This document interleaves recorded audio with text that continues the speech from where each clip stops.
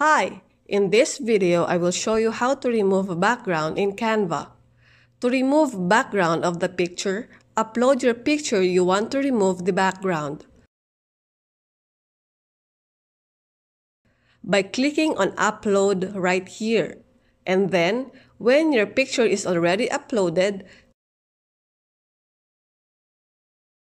drag your picture onto your template.